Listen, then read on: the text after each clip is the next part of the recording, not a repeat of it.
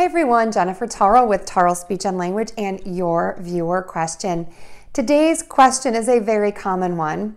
How do I pronounce the words should, could, and would? This is a great example of spelling really confuses the pronunciation. So let's look at these words. The words again are should, could, and would.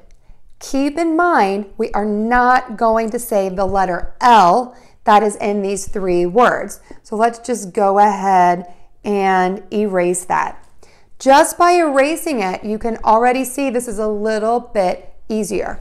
We're going to say SH and then the short uh sound. So to say this sound, your lips are going to be slightly rounded and this sound is very, very short.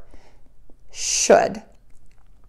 Let's do the same thing for would, W, short uh, and a D, would. This word is pronounced exactly the same as the word would. Let me write that down for you. So would with an LD and would with an OOD are pronounced exactly the same way. And then our last word, could, again, with the erased L, because we're not going to say it, is could. So let's give those words a try. Should, would, could.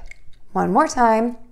Should, would, could.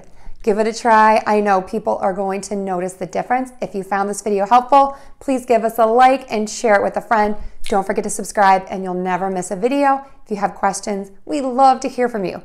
Leave them in the comment section below or visit tarlespeech.com. Thanks and see you soon.